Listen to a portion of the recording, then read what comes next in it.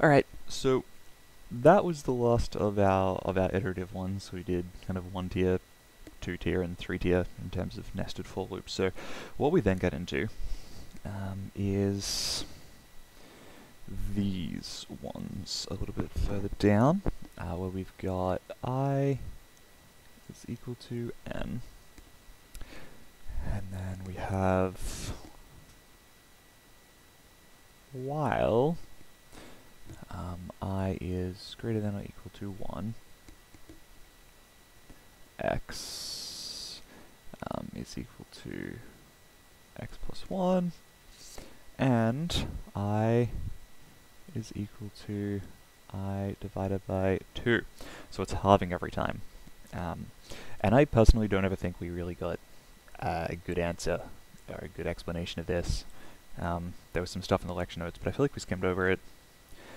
Um, so this is basically just taking uneven steps.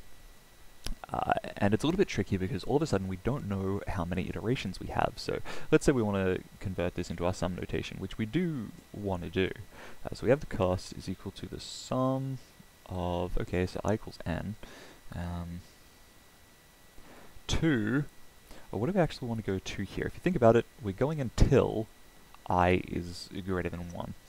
But I personally find it easy to kind of flip this whole thing um, on its head rather than going from i equals n to um, 1, kind of just flip it around.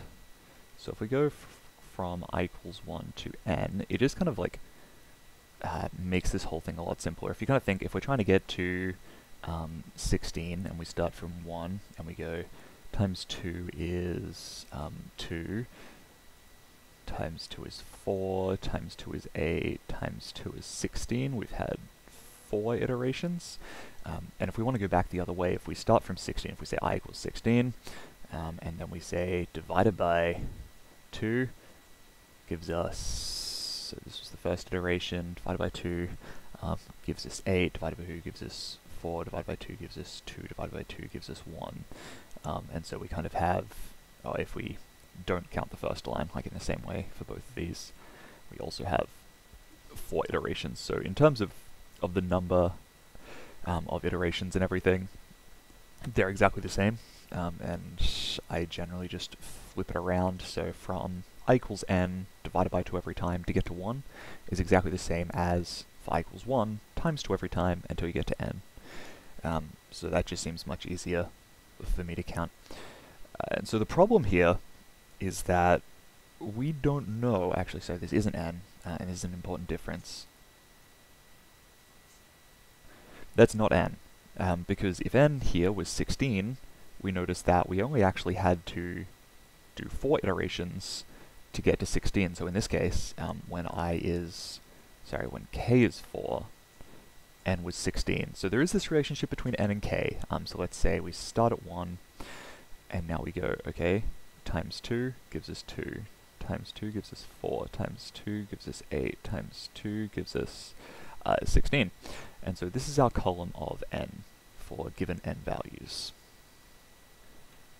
And over here, how many iterations do we actually do? And that's our k. Well, we do 1, 2, 3, 4, 5. Or, I guess since it um it doesn't really perform on the first time, you can kind of just think of it as starting at um as starting here. One, two, three, four, because it just gets set to i the first time. The very first time it actually increments it is already timesing by two.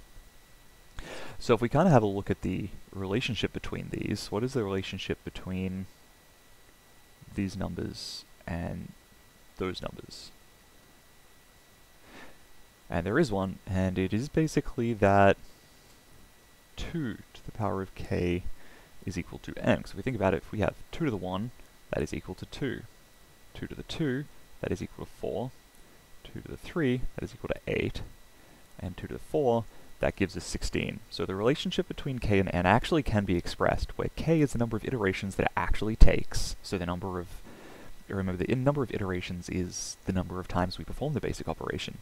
Um, the relationship between the number of times we actually perform the basic operation or the number of times we iterate through this loop and what n was is 2 to the power of k is n. as we can kind of see here. Um, so once we kind of get that, that we're iterating from 1 to k, um, and we're counting 1 each time, and we know that 2 to the power of k equals n, that obviously also means that uh, log base 2 of um, n, log base 2 of n, equals k. Is kind of how we can rewrite that. So first of all, we can expand this out the way that we normally do, right? So um, if this was a known variable, we end up with just k minus 1 plus 1, using that rule that I've written out a bunch of times, which is equal to k. And since we know that k is equal to log base 2 of n, we can just substitute that back in for log base 2 of n, um, which is obviously bound by theta g of log n. So it's actually, these uneven steps really aren't that hard. All you need to do is find a relationship between n, the input value, and k, this made up number, which is the number of iterations that we actually do. Uh, and we're just doing it once. So once you kind of find this relationship, it's really not that difficult. And it kind of makes sense here. You're timesing by 2 every time. And when you times by 2 every time, you kind of end up with first iteration, second iteration, third iteration, fourth iteration, which kind of makes it not surprising that the formula is going up in terms of 2 to the 1, 2 to the 2, 2 to the 3, 2 to the 4. So this relationship 2 to the k, uh, k is the number of iterations equals n, is quite logical once you get your head around it. Um, and yeah, timesing 2 every time is just mentally easy to think, but um, if you go through the massive dividing by 2 every time, it's the exact same number of iterations, so it's the same. You can make the math work out if you do that, I just find it messier. Um, so the relationship here is log base 2 of n, which is exactly what we're taught that um, dividing by 2 or timesing by 2 every time is, and so that all works.